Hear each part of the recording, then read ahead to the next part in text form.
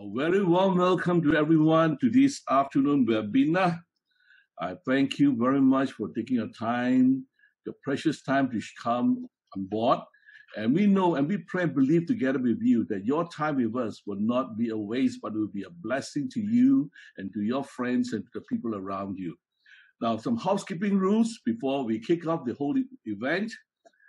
Uh, remember, please, as you listen to the our speaker for this afternoon, as if any question that cross your mind, please key them into the chat box. All right, there's uh, if you go below at the bottom of your screen, you will find you, will see the chat box there, the chat screen. Just click on it and type it in. Make sure uh, it is um, available to everyone because there is also a private chat that you can only uh, what you call write to a certain group, certain people. So make it everyone, make sure that it's to everyone so that we can view it and we can pose a question to you. Now, for those of you who would like to ask the question personally after the presentation, please do a shout out or give a sound out or put a head, hands up on your screen, and then we will pass them, uh, uh, ask you to come on and you can pose the question to the speaker this afternoon right? So this basically this is how somehow the house rule, and just make sure that all your microphones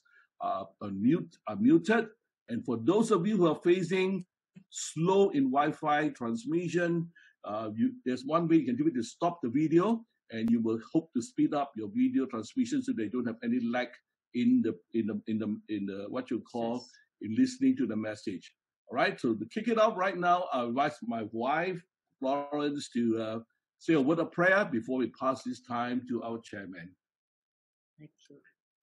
Father, in the name of Jesus, we want to commit today's agenda into your great hands. Yes. Open our hearts and ears to receive and to learn what we are going to gain with much understanding, accompanied by the necessary knowledge given to us mm-hmm. with gladness in our hearts. Thank you for blessing us with none other than Dato Dr. Colin Lee.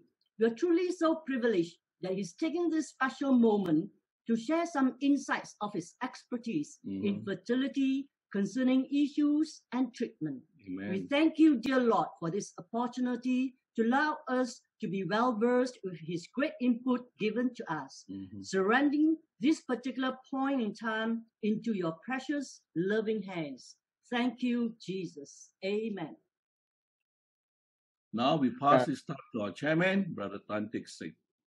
Yeah, thank you, Richard and uh, Florence, uh, you know, for the opening uh, prayer. Now, the, uh, you know, welcome uh, every each and every one of you week after week that you come onto this uh, webinar. And we, this is, I suppose, is our 18th webinar since the this MCO. And we are so glad that at least I think thousands of people have actually listen to our weekly program, and uh, more so that because our this uh, webinar is also tape recorded, and we will also you know produce them into the YouTube, and we send it to all the various you know these family first nations, and they themselves will also broadcast to all their respective members. And so far, I think that our this uh, uh, this uh, family first uh, these activities we have reached out to more than 2 million families in Asia. We are so blessed, you know, that our founder has got such a big vision and uh, he wants to see that at least about 100 million people, families, uh, whose families are blessed, you know, through this uh, platform.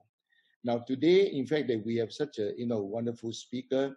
And, uh, and uh, before I introduce the speaker, I would just like you to just uh, share with you about what Family First Malaysia is all about. Right. So, media, please go on. Family First Malaysia is a non-profit organization. We serve people regardless of ethnic, religious background, or social status. We practice these seven values that govern our words and actions. We believe every human being is of infinite worth. And the best place to discover this is within the family. We believe that strong, healthy families are the cornerstone of civilization. We believe every family can be happier, stronger, and more united. We believe in the power of prayer and the eternal value of every soul. We believe in the power of partnership, that together we can do much, much more than we could ever do on our own. We believe we must always conduct all our operations, partnerships, and finances with the highest ethical and moral standards. We believe we must always respect and fully comply with all local and national laws in every jurisdiction in which we operate. Family First Malaysia vision exists to transform next generation fathers, supported by mothers to build better families, resulting in a better workplace, a better society, and a stronger nation.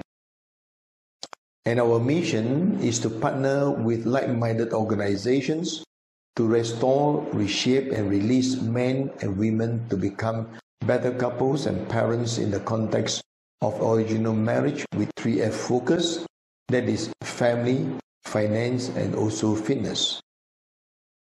So, this, these are the three pillars of Family First Malaysia. That on the Better Family front, we have altogether six modules that covers these better families that in terms of the uh, this noble family vision uh, strengthening marriage and uh, the role of a husband and the role of a wife and intimacy plus parenting.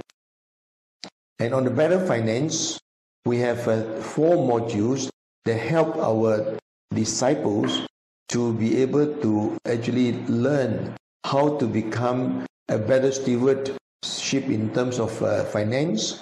And at the same time they must also understand god's purpose for money plus how to manage their finance as a couple and also finally on the financial freedom on the better fitness side we believe that you know if once we are physically financially uh, healthy on our you know physical side we must also equip ourselves you know mentally as well so we need to actually have a proper nutrition and also exercise.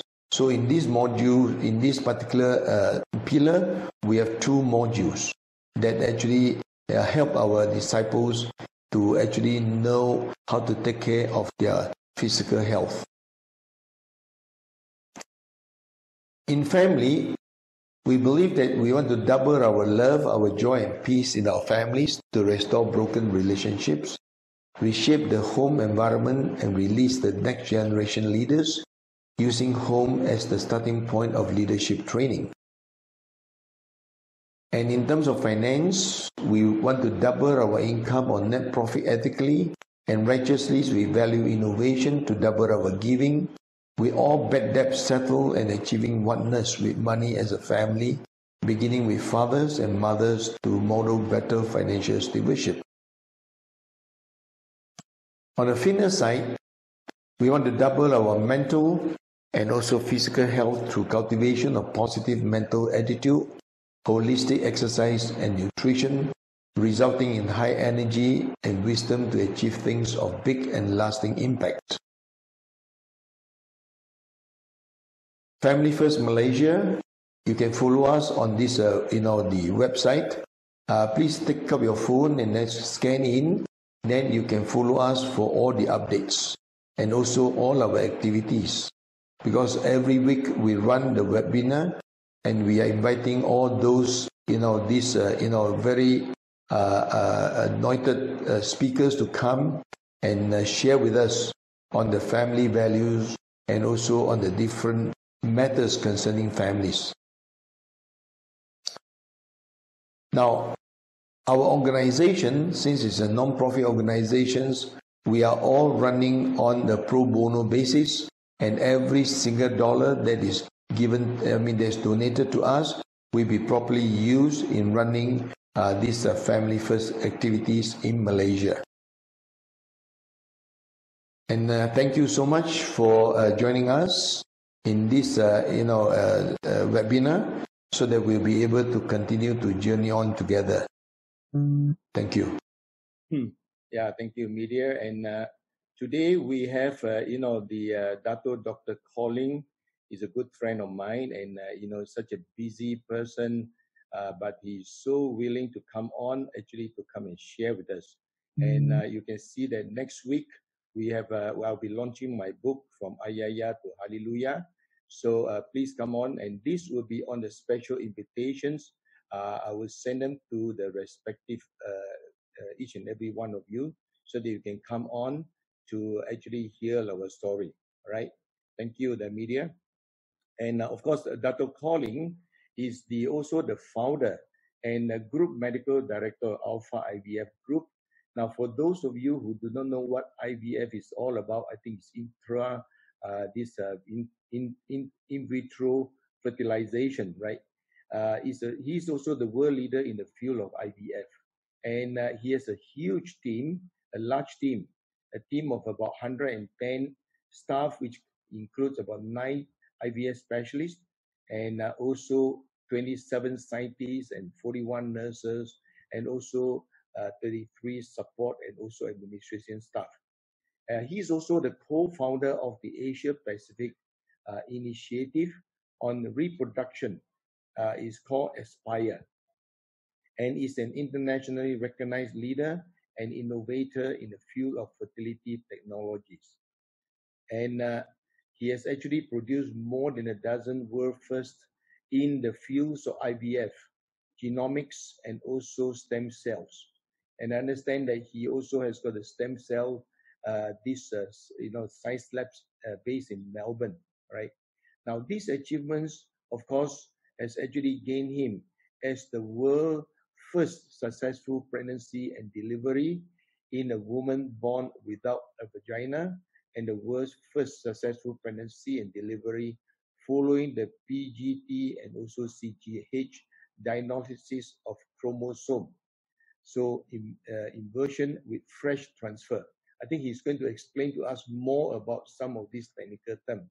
Now, Dr. Dr. Colin Lee is also the founder and uh, the uh, managing director of the this uh, you know the uh, the uh, Kuala Lumpur Wellness City, which is a huge you know medical tourism project that he has embarked on. So we certainly want to pray for all his success because he's going to bring the world top class all the medical scientists into that center. So without further ado, let us welcome Dr. Dr. Colin Lee to come and share with us.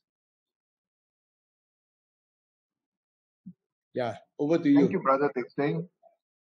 And uh, I'm happy to be invited and have the privilege and honor to share on this uh, wonderful platform of Family First.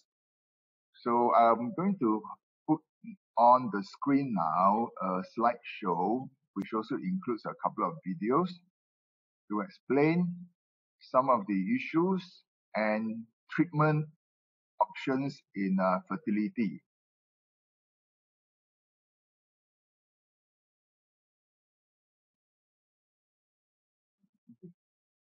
Okay, first, the definition of uh, infertility. If one is below 35 years old and are not able to conceive after 12 months of regular unprotected intercourse, then it is called infertility.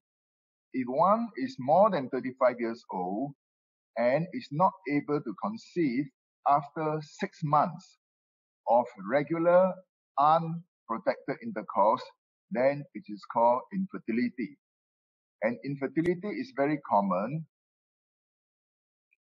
It now affects as much as 25% of uh, married couples in some countries whereas in other countries it could affect as much as 15% of married couples.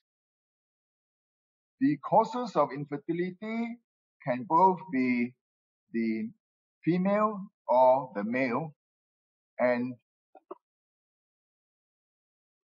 which one do I go up or down? down. Want to go up? Okay, in about a third of the cases, the male is responsible for the difficulty in getting pregnant, and in about a third of cases, it is the female, whereas in about a third, both male and female causes can be identified. If we exhaustively investigate the cause of infertility in a couple, we find that there's still about 5% of couples that we cannot define, that we cannot detect what is the cause of the infertility.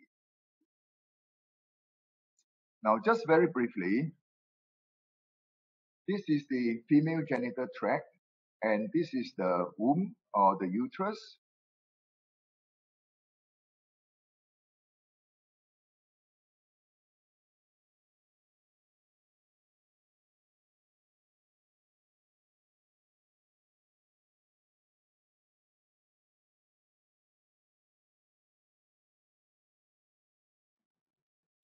The entrance at the top of the vagina.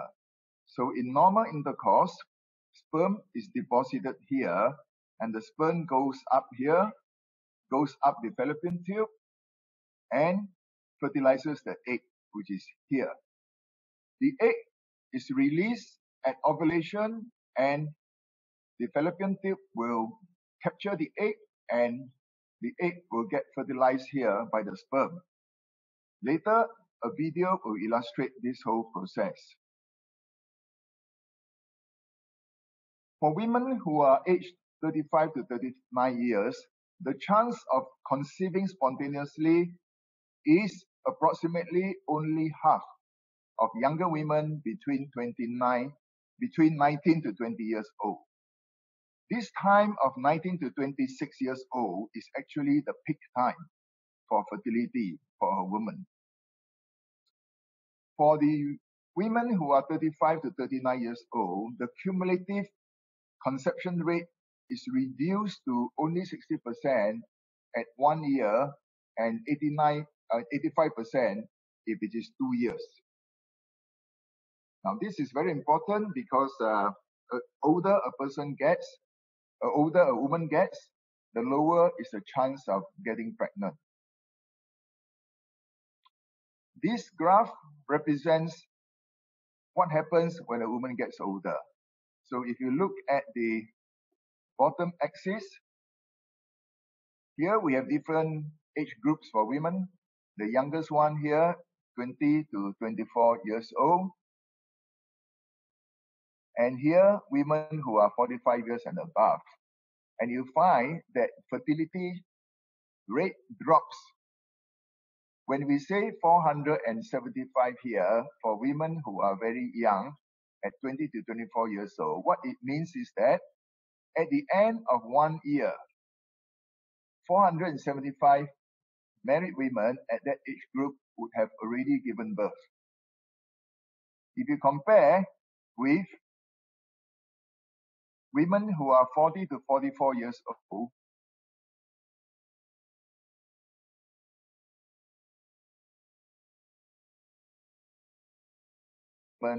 will give birth. And the number drops drastically to only like about a um, 30 per 1000. Okay, I'm trying to uh, get this thing to work. Okay, got to keep moving, uh, otherwise it keeps disappearing. Okay, now you look at this uh, orange line, and we find that uh, Spontaneous abortions are relatively rare in women who are much younger, but when a woman who is 45 years and above, you find that 90 over percent of their pregnancies will end up in a miscarriage. Now, this is important to know, and the reason for it is because as one gets older, the eggs become chromosomally abnormal, and the rate of abnormality in eggs for a woman of about 45 years old is more than 95%, meaning that at 45 years old, out of every 100 eggs that a woman produces, at least 95% will be abnormal. And basically, a abnormal egg is unlikely to result in fertilization, and if it does, it is uh, less likely to result in an implantation. And if it implants, it is quite likely to result in a miscarriage. Like here, you can see that about 93% of uh, pregnancies at 45 years and above ends up in a miscarriage. Now, this is something it's important to understand.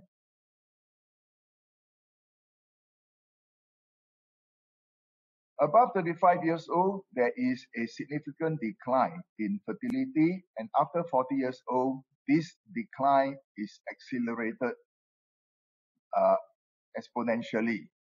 And not only that, but the increase in the uh, fertility decline is uh, compounded by the existence of pathologies such as fibroids, endometriosis, and ovulation disorders, and also the chances that a woman would have had surgery affecting the uterus or the ovary would have also increased the older they are.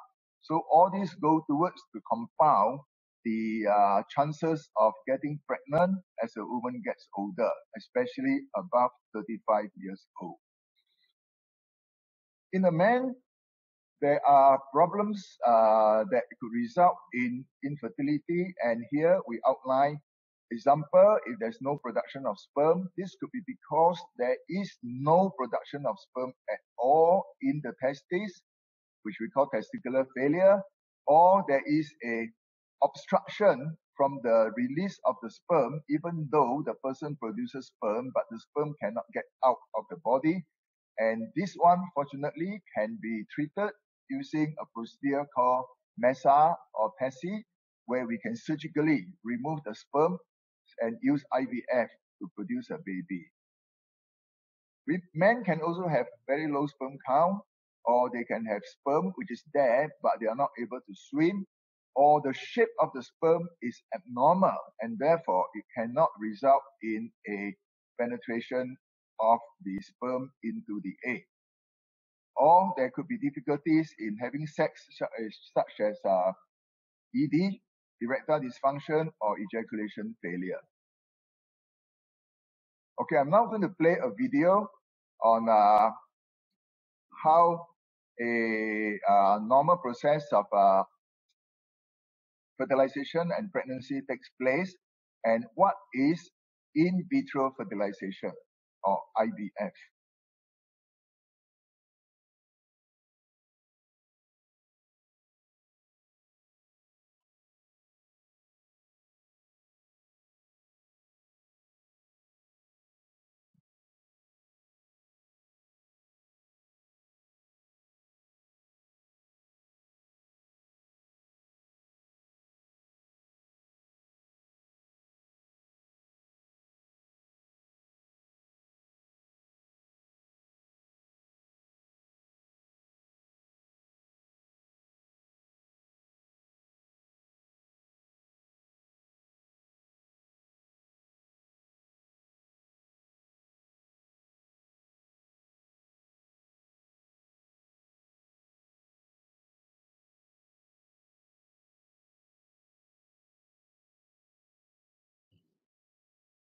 Um, Dr. Colleen, there's no sound on the video.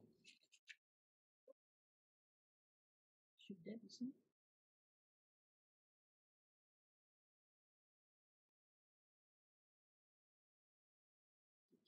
Still no sound. Okay, then can you hear me? I So can hear you. Commentary. We can hear you, but no no sound from the video. Okay, now you see the egg now makes its way into the uh, fallopian tube.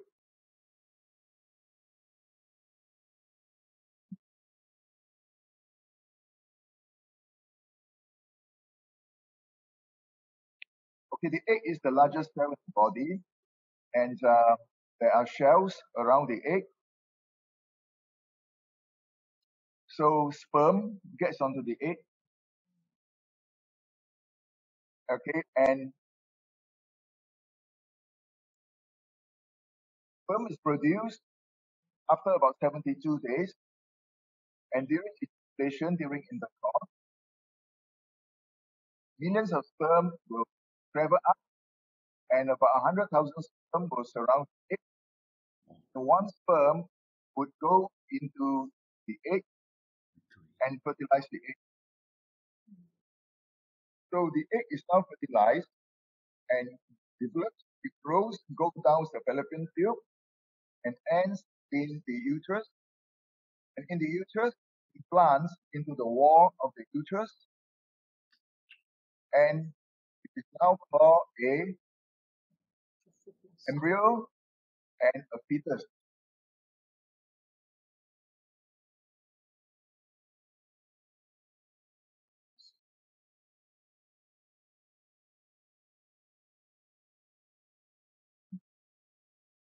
Okay, this is the corpus luteum, which produces progesterone that supports a pregnancy.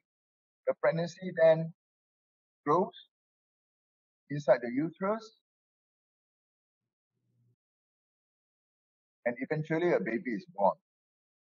In the laboratory, we call that in vitro fertilization, which you look on the right hand side. Okay, injection, which is FSH, is given to the patient and the purpose of that is to make the ovary produce many eggs. These eggs, when they are big enough, are then aspirated.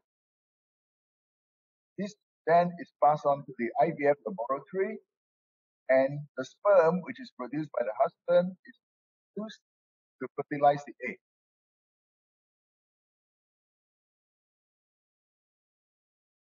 So this is the process of uh, insemination.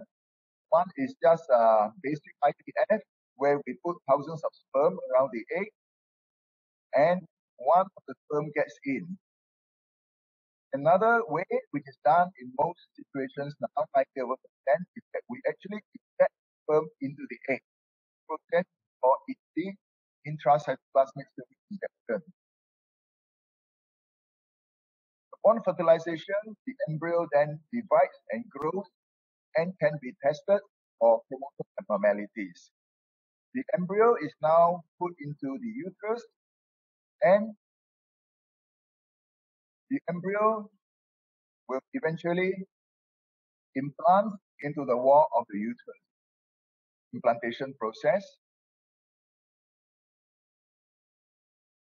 So millions of babies have now been born using IVF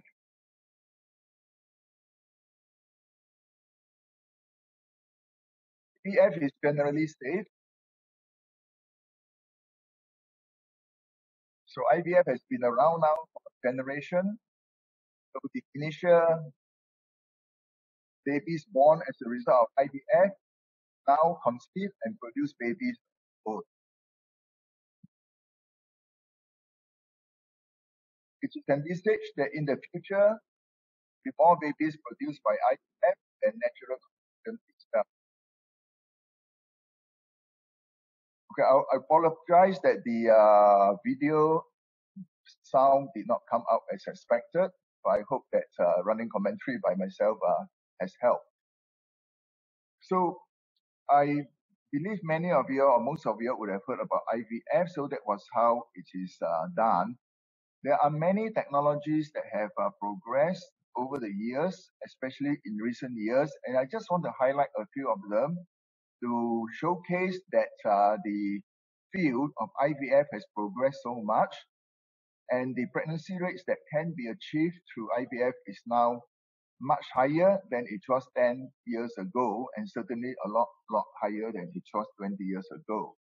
So amongst the technologies now are Piezo ICSI, okay, which I will show you a video later, there are cryopreservation techniques now that achieves 100% of uh, freeze thaw, meaning that when an embryo is frozen and then later it is thawed out before it is put into the womb, the survival rate now is uh, can of 100% can now be achieved. One of the uh, significant uh, improvement is actually the use of time-lapse embryo monitoring, which allows a better culture condition for the embryos to grow and also better selection of the embryos. Basically, all this that we mentioned, the final goal is to increase pregnancy rates.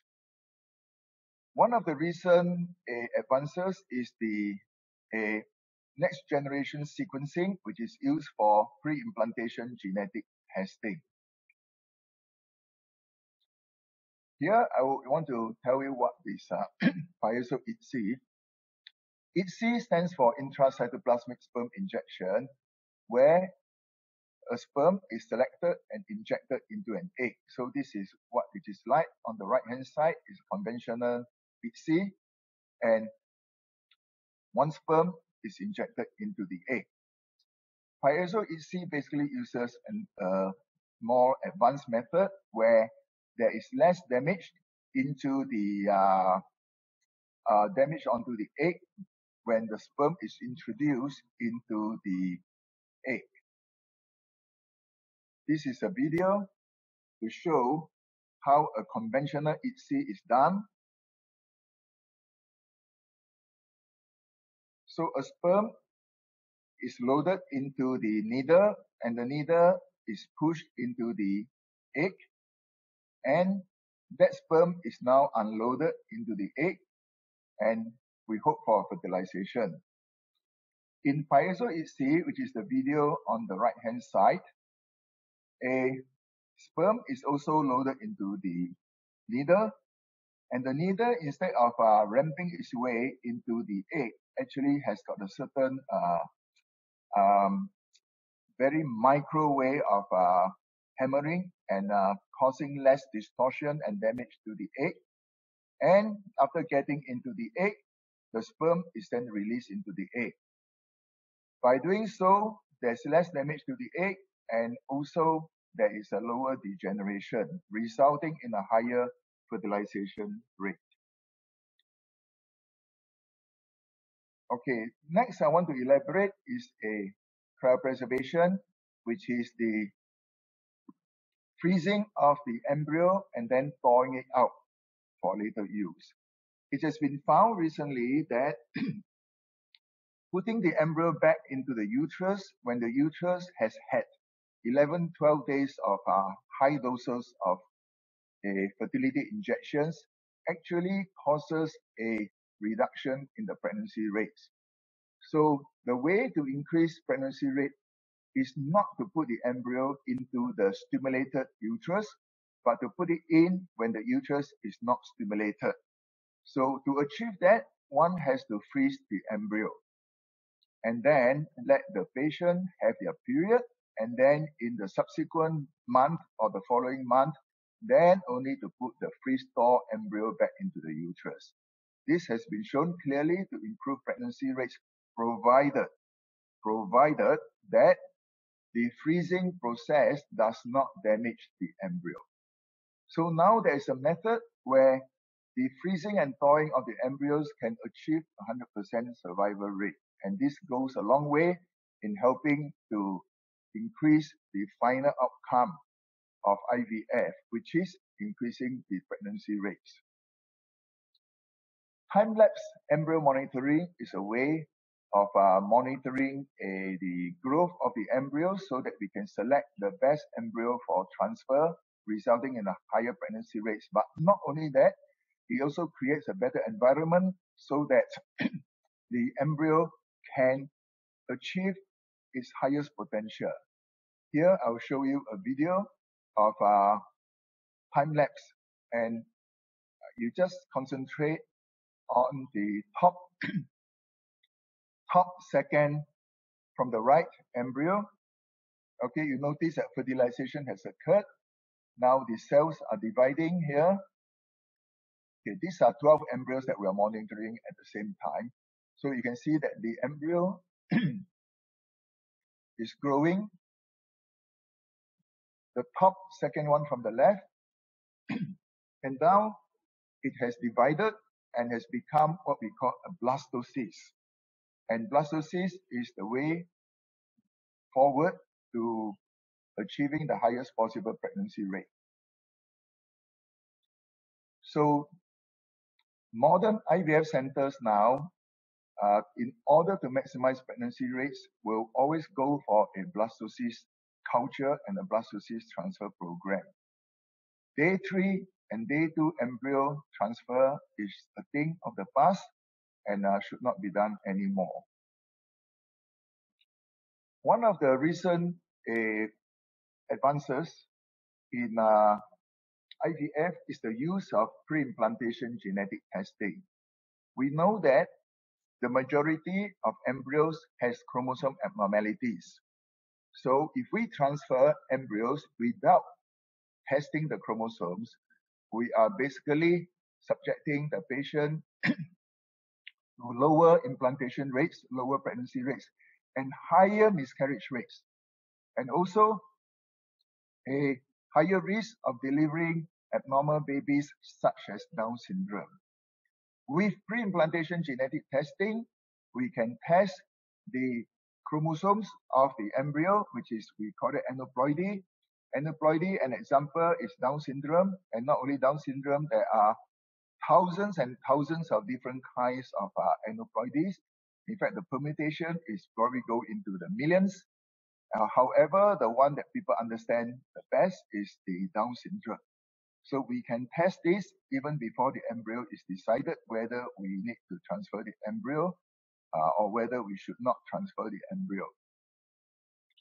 Now, PGD-M, M stands for monogenic disorders. These are things like thalassemia, cystic fibrosis, and so on. And uh, we can test the embryo so that uh, the patient will not end up having thalassemia major or having uh, very bad uh, consequences in their pregnancy. Then there's this thing called uh, PGD structural rearrangements, where we can test for things like translocation, inversion, which causes low pregnancies and also high miscarriage rates. So by testing this, we can actually solve uh, some couples problems who have recurrent miscarriages or who can't even get pregnant at all. The last box here talks about pre-implantation testing of the uh, HLA, which uh, this is used in uh, thing we call a savior sibling program, where if a child has got a thalassemia major and is uh, meant to die at the age of uh, 15 to 18 years old, that the next child uh, that is going to be born we can avoid that child going to suffer from the same fate. But not only that, the child can also uh, be able to be not just born, but the cord blood that is uh, uh, that is taken from this younger child can be used to do a bone marrow transplantation into the elder sibling and to save the elderly, elder sibling from certain death. We actually have uh, such a case coming uh, next month. Okay, with all these technologies, today the new gold standard is uh, a, we aim to get blastulation rates in the region of 70 something to 80%, implantation rates that is touching 80%, clinical pregnancy rates that is now exceeding 80%, and a cryopreservation freeze-thaw survival rates of 100%. So these are the new gold standards in IVF. You can say that this is very, very different compared to not only 10 years ago, but even five years ago. These are rates that would be unimaginable. So today, IVF has gone a long way that we can achieve such rates in good cases. So how is it that uh, pregnancy rates can be maximized in uh, IVF? is actually a long process. IVF is not a procedure. IVF is not a method. IVF is not a process. IVF is actually a program. It is a program that involves many processes. It involves many techniques. It involves many procedures. It is a long process starting from the time the patient walks into the doctor's room to the time that a pregnancy becomes stable. So if this diagram illustrates the various numerous, numerous components, both in the clinic, in the IVF laboratory, it involves personnel from the doctor to the nurses, to the embryologists, to the scientists, to the geneticists, and so on. So it is a program, it is a very complicated program that is best handled by people who are highly skillful. So uh, with that, I will uh, I finish my talk, I know that this is a very, very broad area and uh, there are many, many uh, areas, many, many sub areas that we can cover. However, what I've done is basically to give a platform for Q&A so that uh, we can address uh, questions that would uh, that you have. All right. Yep. Thank you very much, Dr. Colin. Um, it's a very, very interesting subject, which I really no idea what it's all about. and he's very professional in it. Uh, but there's some question being posed, and uh, my wife will uh, present the question to you so that we see and we'll hope that it will be a blessing to the others. What happens to those frozen embryos if the couple decide not to have any more babies? Okay, this is a very good question, and in fact, this is the biggest ethical issue that uh, I feel is in the field of IVF.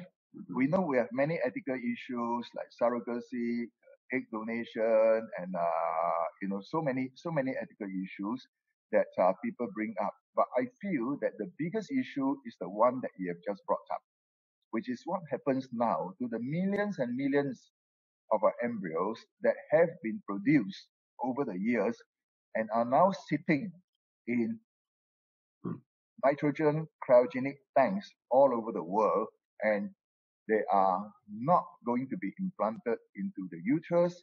So what's going to happen to them? So it depends in uh, which country the jurisdiction is. In Malaysia, example, the uh, guidelines from the uh, Ministry of Health specifies that after five years, you are supposed to take it out of the liquid nitrogen and let it meet its natural fate. If you want to continue for more than five years, then you're supposed to write in to, to the Ministry of Health for permission, and then you can keep for a further period of time. In some other countries, there's no such regulations, and uh, basically it can be kept there indefinitely. Now the question is this. If you were to take these embryos out of the liquid nitrogen, it is going to, it will not uh, survive anymore. So basically, it is going to expire. So are we then creating embryos and uh, is it ethical to create embryos that will never see the, uh, not given a chance to become uh, a, a baby? So this is a question that has been raised uh, again and again. And I look at it this way. In, if we understand the normal physiological process, now you think back of the uh, earlier part of our slide and the early part of the video that uh, was shown, you will see that there are many uh, embryos that are formed inside the bodies of uh, women and these embryos do not end up becoming babies. Meaning that a embryo that is formed in the fallopian tube, which goes down the fallopian tube, some of them get stuck in the fallopian tube, they don't implant, so they actually expire.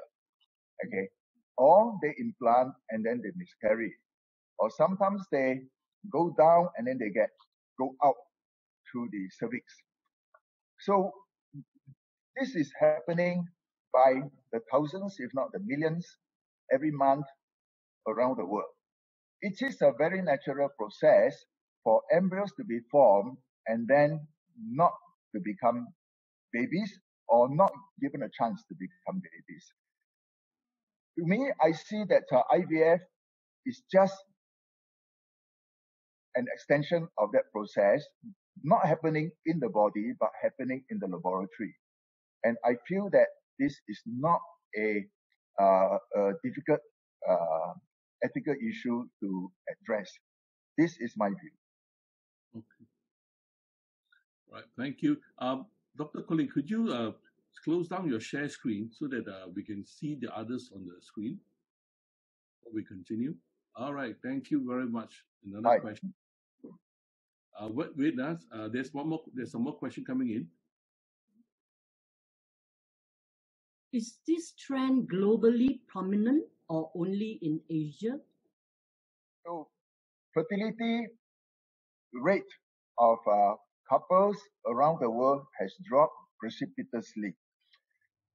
To give you an example, fertility from men, just only 25 to 30 years ago, which is just one generation ago, the WHO defines a low sperm count as anything below 60 million sperm per cc of semen. 60, yeah, a number below. Around uh, around uh, about 20 years ago, it is found that if we use that criteria, then the majority of men would be defined as having low sperm count. So what happens is WHO lower the limit, the cutoff point from 60 to 40, 40, 40. So below 40 is now stated as low sperm count. Then around 12, 15 years ago, they found that at 40 million per cc, most men will not qualify. So they dropped the standard further to 15, 1 5, Lima Blast now. Okay, so you see that in just a span of one generation, WHO has lowered the standard from 60 to 40 to 15. Now, this is actually quite alarming. That whatever is happening, whether you blame it on the environment, the food, the lifestyle, or whatever it is, the sperm count of men has dropped incredibly, just only in the in the last 25 years itself. If you extrapolate this to another one generation, frankly, it's a bit scary to think what sperm counts are going to be like in the future. So this is just an example of uh, fertility potential dropping precipitously in men. In women, the one of the uh, uh, trend that causes fertility to drop is that women are getting married late, and even if they get married not so late, a high proportion of women are postponing starting a family so that when they actually start trying, they are actually much more elderly. And as uh, shown in our earlier slides, that uh, the fertility potential of women drops exponentially once they cross the mid 30s. So, coupled with their lifestyle and uh, married couples having uh, less intimate relationships uh, nowadays compared to say 50 years ago, uh, especially less in urban people compared to the rural people, so on. So the trend is uh, that fertility potential amongst couples has dropped a lot over the last several decades, and this drop is particularly prominent in urban areas, mm. less so in the rural areas. So as the world heads further and further into urbanization, you find that uh, fertility rates will continue to drop. Okay. Now, right. this is the lowering of fertility rates. On the other hand, and uh, this is by the mercy of God, there is now technology, and this is where nature fails, science takes over. And this is where IVF came into the picture. IVF was in, invented uh, in in animals in the 1950s, and then it came into humans in the mid 1970s. And today, there are uh, IVF is uh, all over the world now, and basically, this is uh, a getting sperm and eggs to meet, culturing them in the laboratory, and putting it back into the uterus. And the pregnancy rate the success rate from IVF has grown tremendously. In, uh, say, 1990, worldwide pregnancy rates are looking at uh, below 10% from IVF. Now, don't think 10% is low because naturally, for the patients who need to go for IVF, their pregnancy rate may only be 2% or 1%, and IVF increases it to 8 or 9%. Now, this is 1990. Today, as you can see, pregnancy rates can be as high as 50 something, 60 something, 70 something percent. In uh, IVF uh, centers, which are not so good, even the lousy IVF centers, you can get 20 something, 30 something percent. Whereas the top IVF centers, you can get 50 something, 60 something percent. So uh, you see, nature is crumbling when it comes to fertility rates. And this is where science, in a very timely manner, is coming onto the scene. And this is where, again, we say, where nature fails, science takes over. So from the, the Christian perspective, I think this is where a, uh, I think uh, IVF is uh, given by God to help to address uh, the uh, decline in fertility, which is pro- uh, probably caused by the uh, negligence of men in the way they treat the environment and the way they treat their lifestyle and in the way that they postpone what is more meant to be, which is that women should uh, get pregnant when they are younger, and this is what the physiology of uh, women is supposed to be that they should get pregnant at the peak of uh, fertility, which is meant to be from a 19 to 20 something years old, and not like a lot of women now trying to get pregnant only when they are in their 30s or worse, some of them in their late 30s, early 40s. Mm. Wow. wow. Thank you so much. Um, I think my wife and I made the right choice when we got married at age 25. Next question. Yeah. What will it cost for couples to undergo this program from conception and delivery?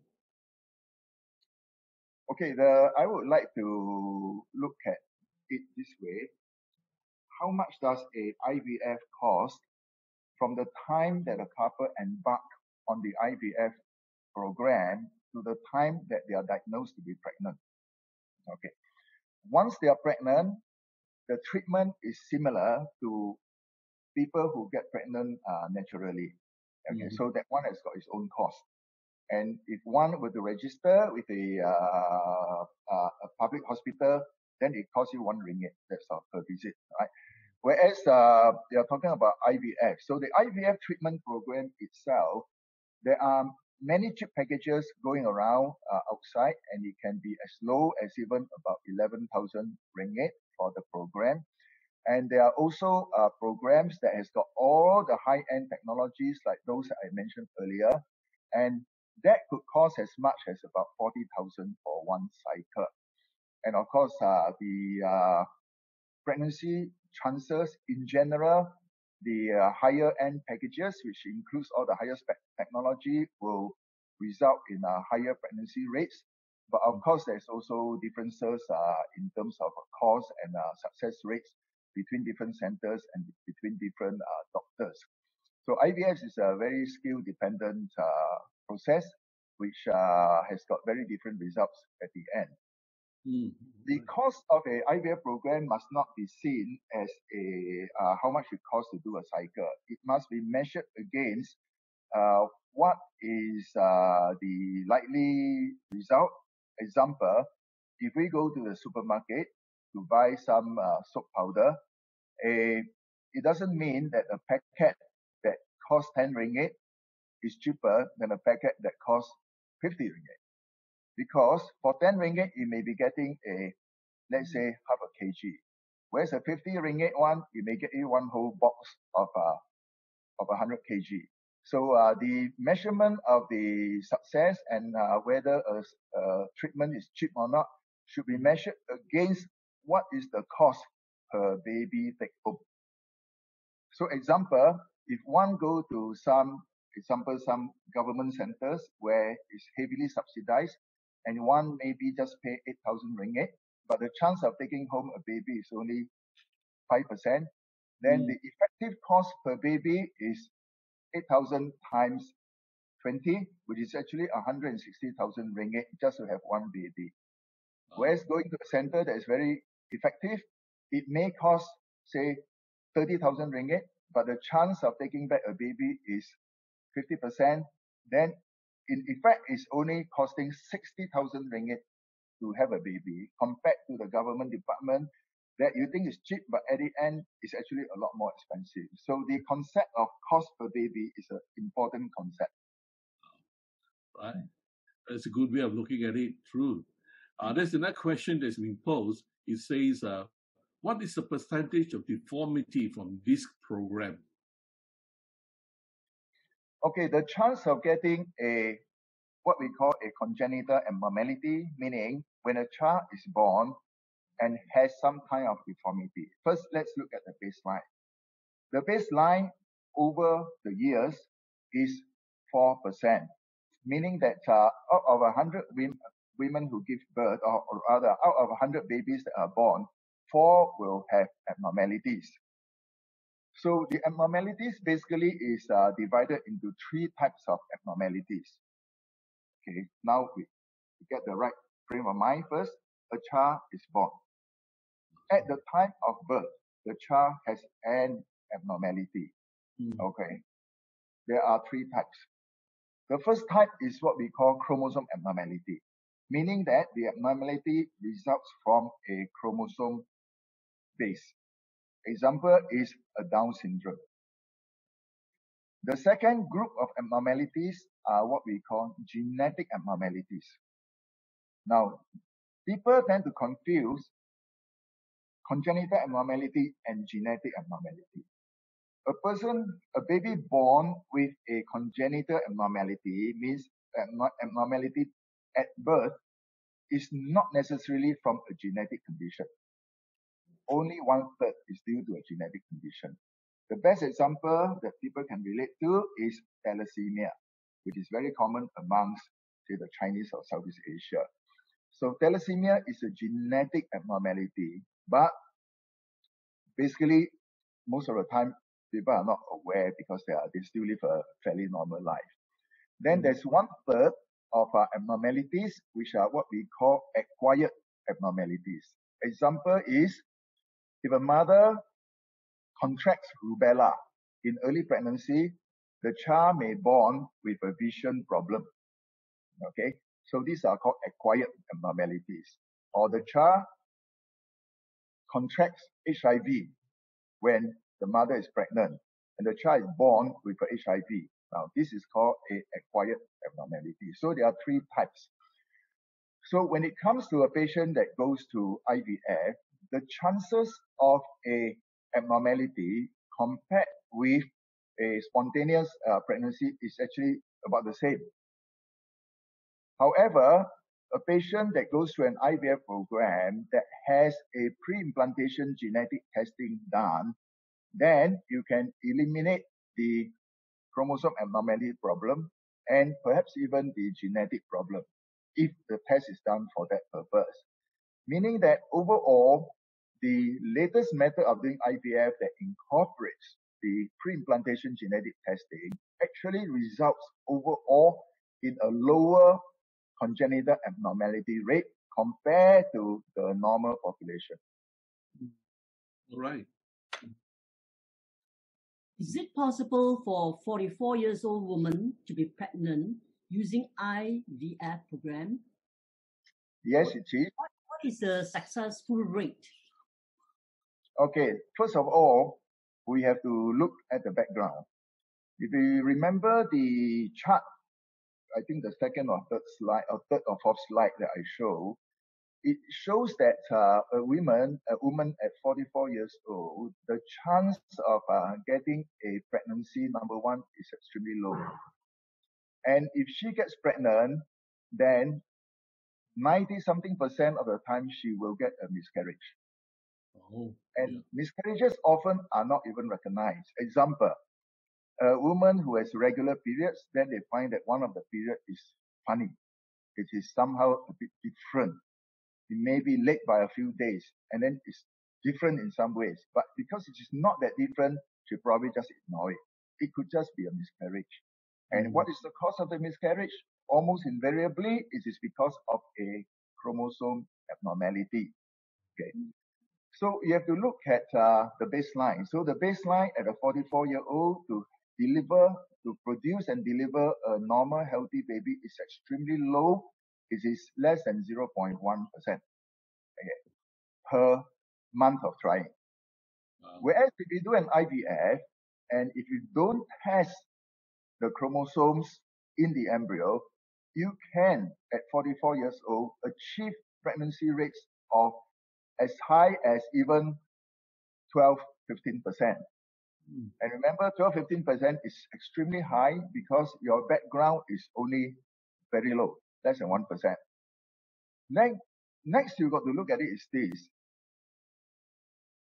If you don't test the embryo in IVF, huh, in IVF, if you don't test the embryo for chromosome abnormalities and just transfer the embryo without testing, you are going to get a high pregnancy rate like 12%, but most of it is going to miscarry.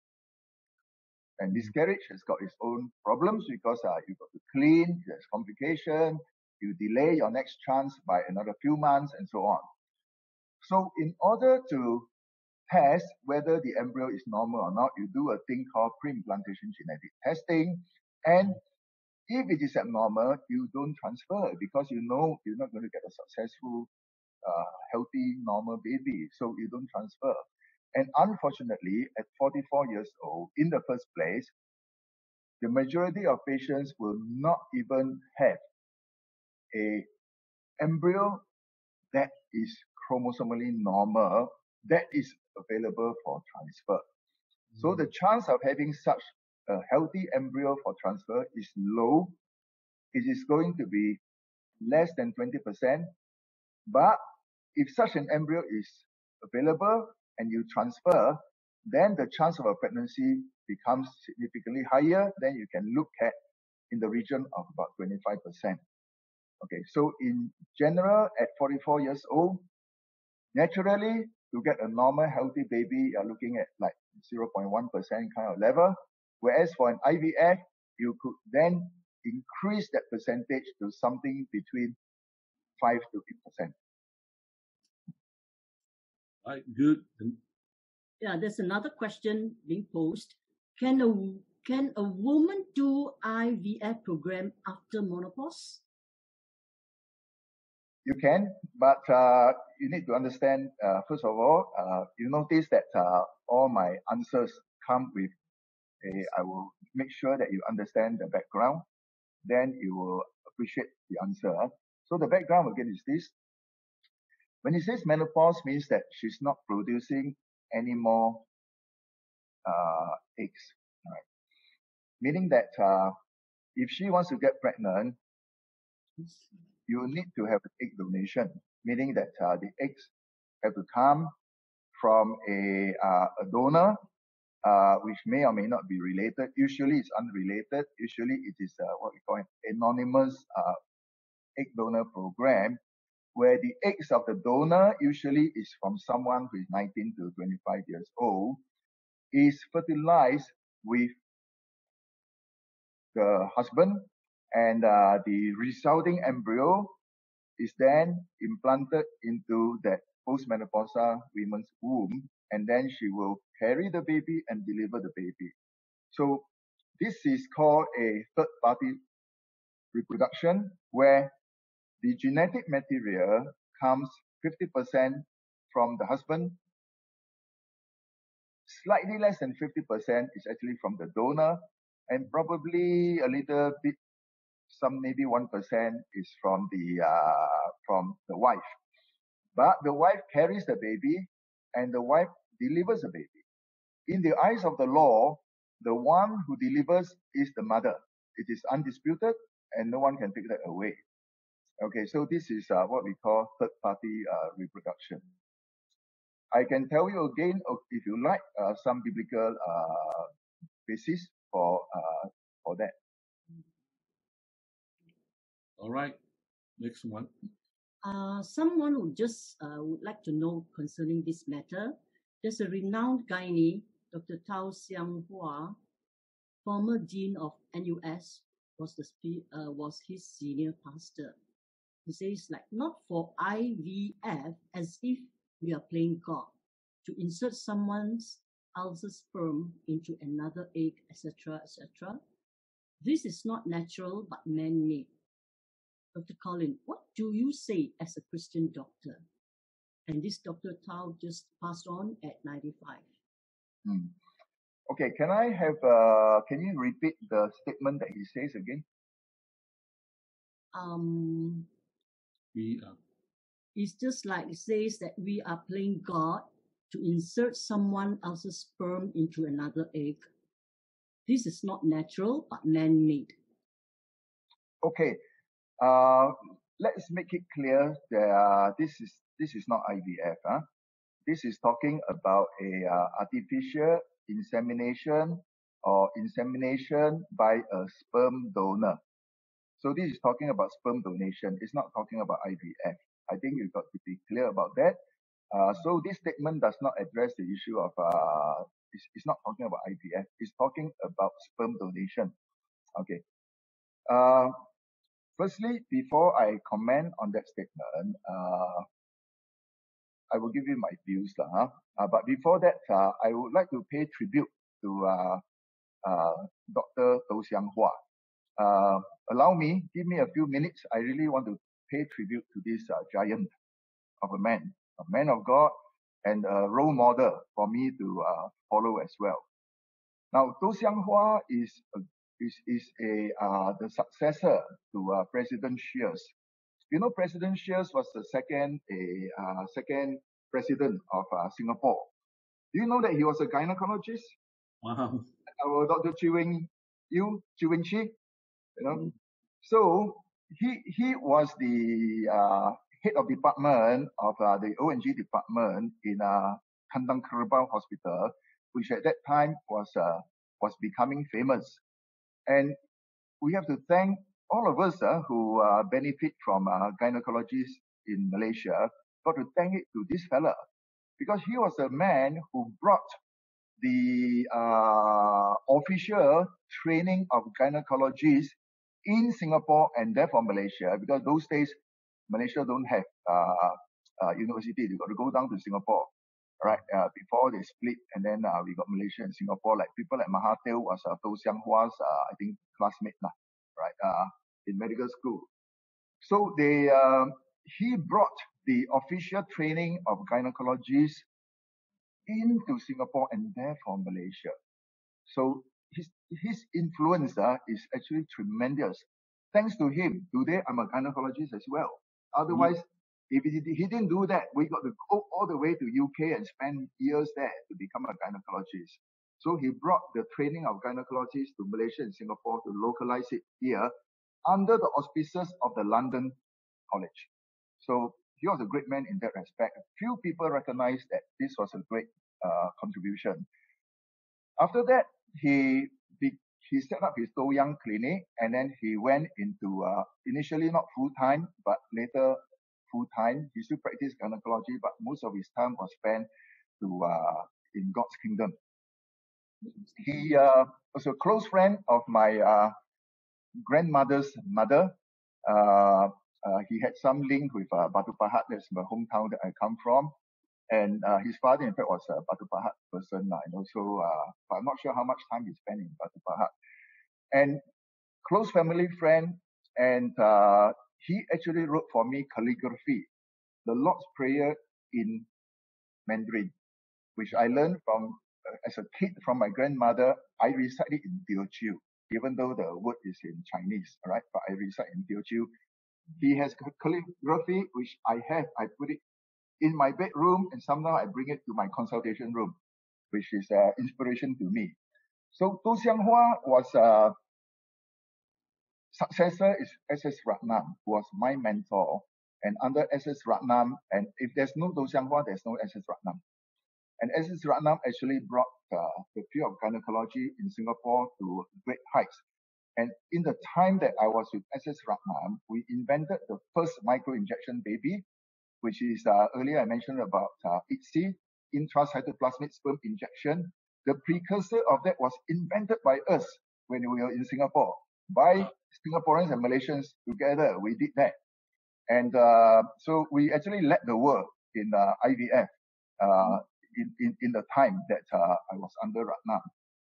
So Tow Siang Hwa is a great inspiration. I respect him greatly. Uh, I met him only once in my life uh, when he came up to Kuala Lumpur to the Bible Calvary Presbyterian Church in Section 16 PJ.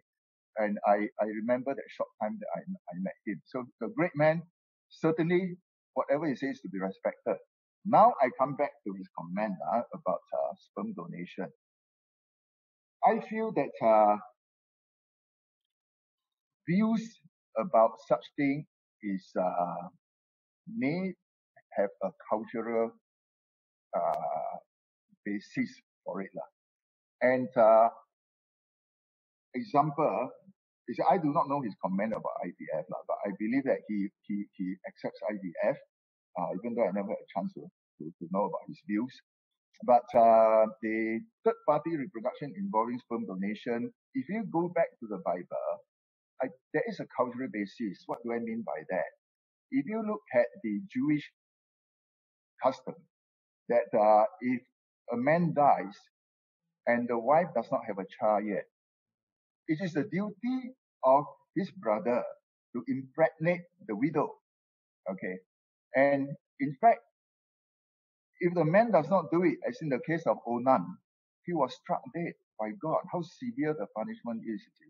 So to me, you see, and and and those days it was a uh, you have to do it through a what today we will call an adultery. All right. Uh, but today a donor does not even have to go near, don't even know who the recipient is. It is done through technology. Okay, social distancing there. okay, right. And uh, frankly, I think there is a place for third-party reproduction, sperm donation in this case. Yeah. So this this is my view, and I don't think it is uh, biblically unsound. Amen. All right. Thank you so much. Thank you. Well, I didn't know that uh, the Malaysians and Singaporeans have, are leading in this field. Fantastic. Now, mm-hmm. someone commented that this program seems to give the couple more babies in one go that can cause stress to them on how to handle more than two babies at a time. I guess about twins. Appreciate your assurance to the distraught couple who may just want one or not more than two babies. Okay, I understand uh, how this comment comes about and uh, I would like to address it, uh, I think, very easily to be addressed. There were days, uh, like uh, 10 years ago, uh, worse still 20 years ago, when pregnancy rates were not as good as what it is today. So if we look at, let's say, 20 years ago, in the year 2000, we have to put in two embryos, even three embryos, in order to give the patient a good chance of a pregnancy, a good chance like a 40% chance, a 45% chance perhaps. To achieve that kind of chance, we have to put in two or three embryos. When you put in two or three embryos, quite often you end up getting twins or even triplets. And occasionally, when one of the babies split into two, you add in one more. so those days are gone. Okay, today in top IVF centers, you don't put in two embryos anymore. Three is a no-no. So you only need to put in one. And when you put in one, you already can achieve pregnancy rates of 60 something and 70 something percent. There's no need to put in two anymore. However, you need all this advanced technology that I mentioned earlier. If we don't make use of these advanced technologies, example, we go for a low cost but efficient IVF program costing, let's say, 14, 15,000 ringgit, then you need to compensate the reduction in fertility potential, uh, fertility success rate by putting one more embryo. So you put in two. But when you put in two, yes, you increase the pregnancy rate perhaps from 32% to 50%. However, if a patient gets pregnant, the chance of twins becomes about 50-55% of twins. So this is a balance between what a patient can afford and what are the consequences? Consequences of twins is that there is a about a sevenfold increase in things like uh, like uh, preterm labor, meaning that the babies are born much uh, earlier and therefore may have problems associated with uh, immature organ systems by the Mm. eye, the heart, the lungs. So these are complications that can occur when people have twins compared to singleton. It doesn't mean singleton there are no complications, but twins versus singleton, the complication rate is sevenfold. Triplets, of course, the complication rate shoots up very high. So today, uh, the answer to that question is we put in one if the patient can afford going to all the high-end treatment, but if she needs to go for a, a low-cost, efficient system, then you can still put in one, but you have to understand the pregnancy rates are not as great. You can have a higher pregnancy rate by putting in two, but there's a possibility, in fact, a high, high possibility, you end up with twins and the consequent a uh, higher complication rate. Mm. So how some people look at it is this. You see, all this has got to be seen in the uh, socio-economic environment of a country. Example, uh, in Malaysia, if you go for an IVF treatment, you can go to a government department. Okay. You may not pay a lot, but the pregnancy rates are very bad. So at the end, you actually pay a lot more. So you go to the private sector. So when you go to the private sector and you have to fork out your own money. Now, okay, you can withdraw money from the EPF account too, but it takes your own money. You should use it for your housing, your retirement, and so on. So basically, you've got to take money out from your own pocket. However, if you get pregnant, you can have your pregnancy done in the government hospitals and any complication from the financial aspect, the financial support aspect is all paid by the government. So this is important considerations. There is in Malaysia, in the US, similar. You want to do IVF, you go private sector, it's from your own pocket. But when you have a complication of a pregnancy and delivery, you go to the government sector, which is virtually free. So it, it, it is important. These are some people say, no, no, you should not consider money aspect of thing. But let's be frank. People have limited financial resources, so they have to look at what is available in the healthcare system. So unfortunately, this is the reality. So there are people who say, no, doctor, this is all I have. This is all the money I have. Give me the highest chance. I don't mind getting, facing the consequences of higher complication because of twins. In fact, I only have 15,000 ringgit. If I get twins, I pay 15,000 ringgit, I get a bonus.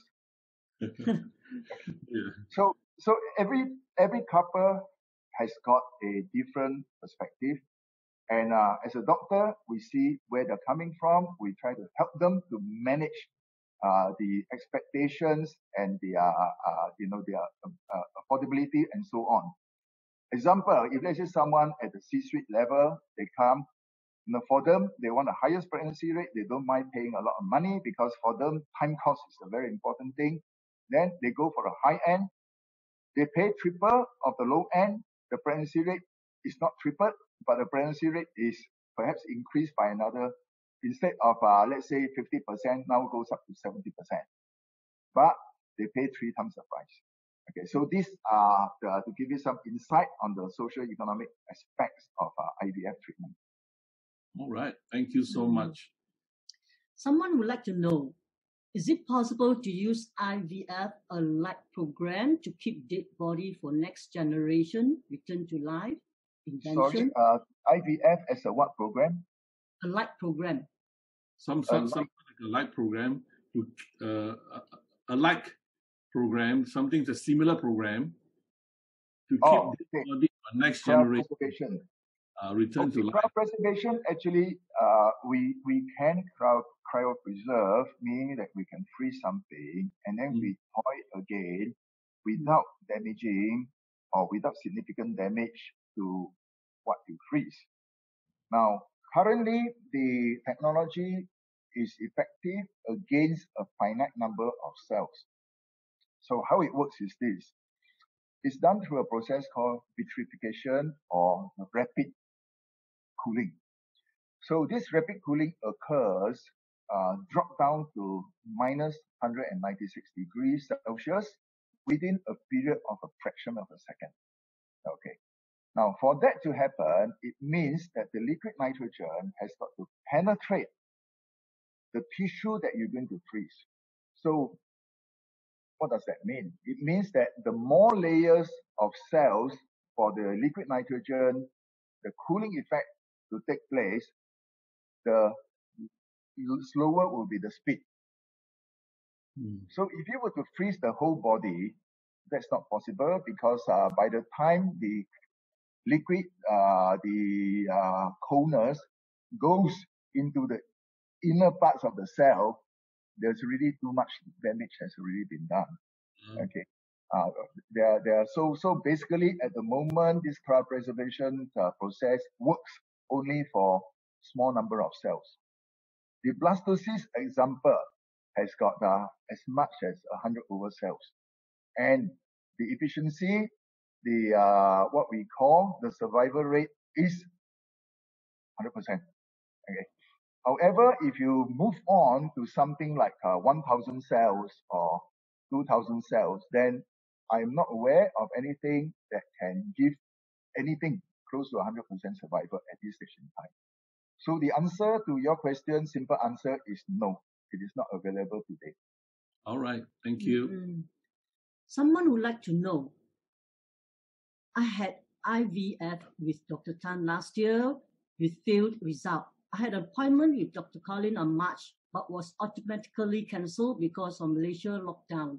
Is it possible for me to do another IVF program? Yes, it is open now. Uh, Ministry of Health has allowed uh, IVF to be open again. In fact, uh, there was a, uh, a period, a short period that it was just closed. But as early as I think June, I think uh, it was open again. Okay. There's another question. After two years getting married and age is 29 approaching 30, would you recommend IVF program yet or suggest to wait and keep trying? After marrying, what, what year? At what She's old? Nine, approaching 30. Two years, after okay. two years of marriage. Okay, after two years, certainly, I think you need to go for a assessment. Uh, the first assessment is just to see whether there's uh, any obvious uh, problem and depending on the problem, then uh, some may need intervention. Some may just require more time. Some could be very simple. Some very simple, uh, taking uh, tablets costing 60 ringgit. And uh, just that can, can help them to get pregnant. So the assessment is important. No two couples are alike. Okay.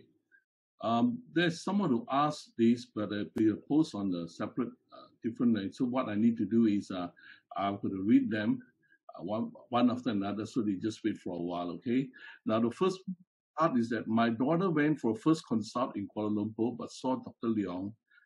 Uh, not not this is from. Uh, uh, okay, my daughter went for first consult in Kuala Lumpur, but saw Dr. Leong. But because of COVID, she underwent IVF under Dr. Tan in Singapore. Now with twins in about 16 her 16 in her 16 weeks, it is detected discordant, only to confirm their size at 20th week. Uh, are they safe? Are they in safe situation? Uh, they are what discordant, eh? Yeah, yeah, discordant. Okay, I am not sure exactly what she meant by that. Eh, uh, I think I think that one has to be uh, has to be assessed uh, on its own merit. So I can't comment unless I get uh, proper information okay. about. What she explained further was one of the twin is smaller, growing in weight, called discordant weight. Both these okay, twins are in different uh, sex. sex. Wonder if there will be complications. Okay, based on uh, the information that you have given me, of course, uh, this to me is still not sufficient information, but uh, based on the information that I'm given uh, just in the last two minutes, it means that uh, the it is a twins that resulted from one embryo. So uh, this embryo has split into two at a particular stage, and uh, therefore there is a what we call a twin-to-twin transfusion. Now again, I want to qualify that this is based on the information that is supplied to me in the last two minutes. So uh, if the information is not quite that, then whatever I say would, may not be valid. Okay. Mm. So in a twin-to-twin transfusion, uh, the twins has to be monitored very closely. And uh, I I know Dr. Tan of uh, Singapore. I think Tan Heng Hao, if, uh, if that's the one. I think he's very competent in uh, handling this. And uh, the basically there will be monitoring to see how the two twins are growing. And there may be a stage where a intervention like the form of an early delivery may have to be instituted. Mm-hmm. So you are saying that they are now at 16 weeks, one six? Yeah, yes. one six. Okay, so one six, there's still a long way to go. But certainly this is what we call a high risk pregnancy. And uh, uh, I believe that Dr. Tan would also be handling this uh, perhaps in conjunction with a fetal maternal uh, specialist. Uh, and I, what I can say is that uh, she is in good hands. All right. Thank you. I hope that answers your question, whoever that posed that question. Uh, there's one more here that says that Alpha can accept patient from Indonesia now because she's I consult Alpha nurse and marketing said still closed. No, unfortunately, it is not uh, whether Alpha or any other fertility center can or cannot accept. This is uh, coming from higher authorities, which are basically the borders are still closed.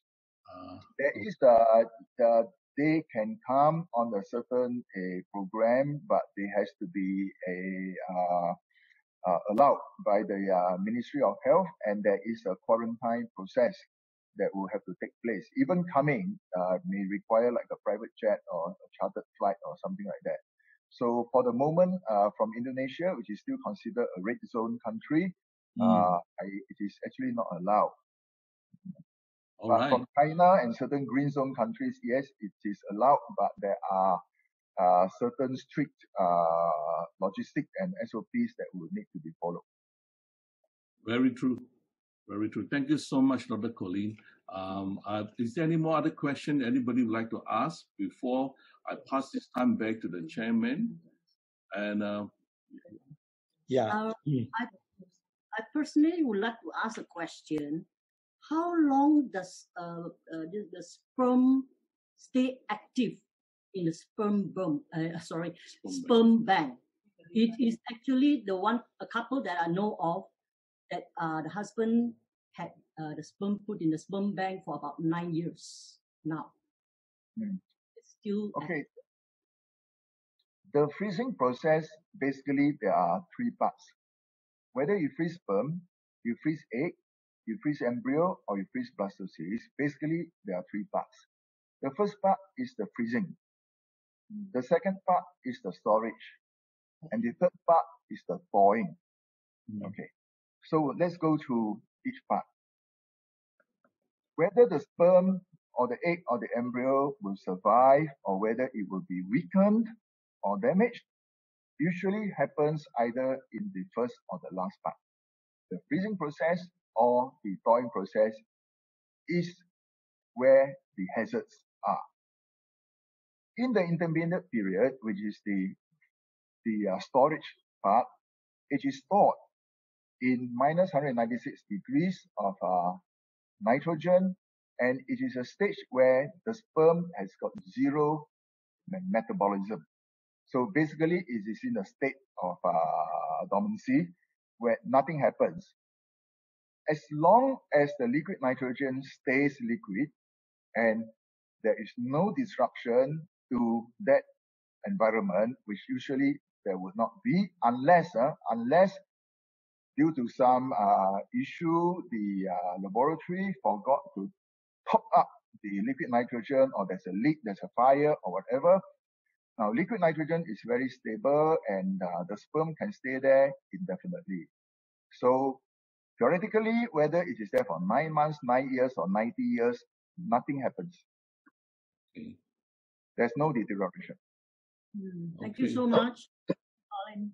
Lord, we just want to thank you for this uh, very, in fact, fruitful uh, meeting and also that uh, very informative uh, talk on the fertility, the issues, and also the treatment by our Dr. Colin. And we know, Lord, that you have sent him on this webinar, and this webinar we also reach out to many thousands of people who may not be able to come on this webinar, but they will also be able to even listen through the YouTubes. We want Amen. to thank you, Lord, for his contribution.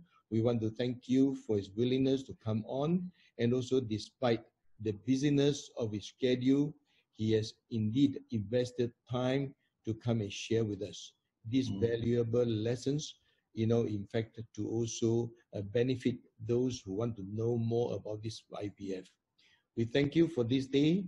Thank you for his life, and thank you, that Lord, that he continue, Lord, to use his expertise and also be able to use uh, these uh, wonderful techniques to even produce healthy and beautiful children for your glory.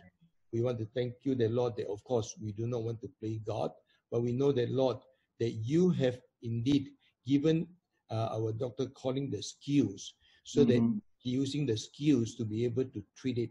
You know, we know that Lord creation come from you, but you still require uh, the specialist to come and also do the proper treatment.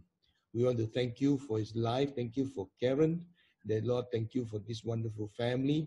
That may you continue, Lord, to bless him for the many, many this uh, endeavor that he is going to embark on. And we know the Lord, that he has his desire is to see that the uh, to be able to bring in all the top specialists around the world to even congregate in Malaysia to build up a Kuala Lumpur wellness city for your glory. And we know the Lord that it is not by might by not by, by strength, but by the power of your Holy Spirit that you can you get- lead him and also guide him. So thank you, Lord, for this wonderful talk.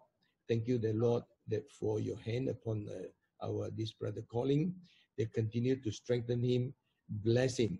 He's indeed highly honored, greatly blessed, and deeply loved by you. Give you thanks in Jesus' name. Amen. Amen. Amen.